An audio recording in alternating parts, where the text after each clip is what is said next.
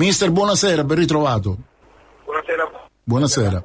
Dicevamo oggi vittoria importante che forse, a parte il eh, fatto che si interrompe una striscia eh, non proprio positiva di, di risultati, ma anche arriva in una giornata in cui le altre hanno uh, rallentato tutte. Chiaramente siete forse all'inizio della vostra stagione. Ma oggi per noi una partita molto troppo importante, non, possiamo, non potevamo perdere quelle distanze mentali che non ci permettevano poi di stare aggrappati a un gruppo di squadre che da qui alla fine si contenderanno gli ultimi due posti, i posti in quello che è la griglia del play Giusto anche perché abbiamo recuperato qualche giocatore, perché non dimentichiamo che veniamo da tantissime, tantissime defezioni che non ci hanno permesso di poter schierare una formazione virgolette decente. Sì.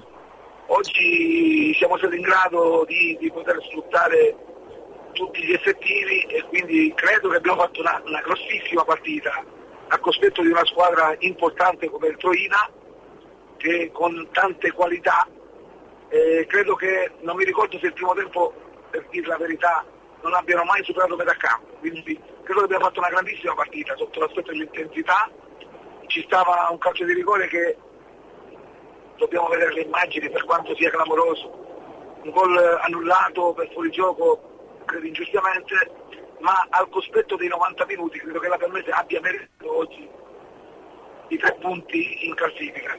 Sì. No, decisamente battere il Troina che è una squadra da griglia playoff, quinta posizione in questo uh, momento, significa insomma un grande valore. Questo gol è arrivato nella seconda frazione, mister Tiboni.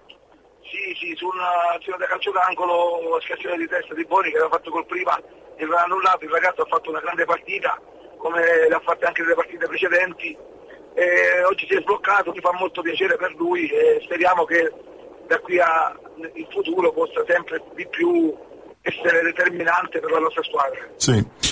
Eh, cammino comunque difficile, è chiaro che non si possono guardare gli avversari, non si guarda, cioè li si guardano però bisogna eh, affrontarli a testa bassa con il coltello fra i denti per cercare di ridurre queste distanze, anche perché il campionato è difficile per tutti, quindi si apre concretamente la possibilità per la Palmese di risalire la china.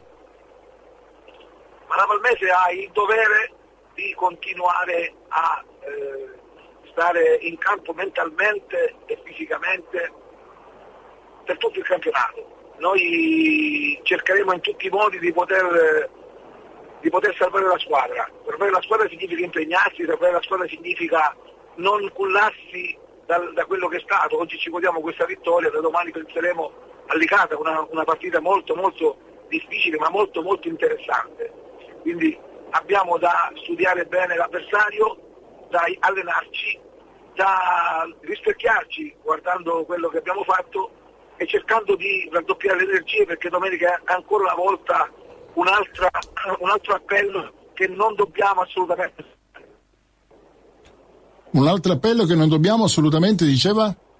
Sbagliare. Ah, sbagliare, sbagliare. Si gioca in casa dell'Icata, eh, prossimo impegno appunto in casa dell'Icata 1, poi il derby con il Castrovilla, rigiocherete poi in casa del Biancavilla, prima dello scontro diretto, chiamiamolo così, eh, con il San Tommaso, lo chiamiamo adesso scontro diretto, magari in quell'occasione l'avrete già messo sotto, ve lo auguro chiaramente mister, per, eh, per eh, i colori nero-verdi, insomma, che possano mantenere la categoria dobbiamo, sì, sì, queste sono partite per giocare in casa, dobbiamo cercare di ottenere sempre il massimo.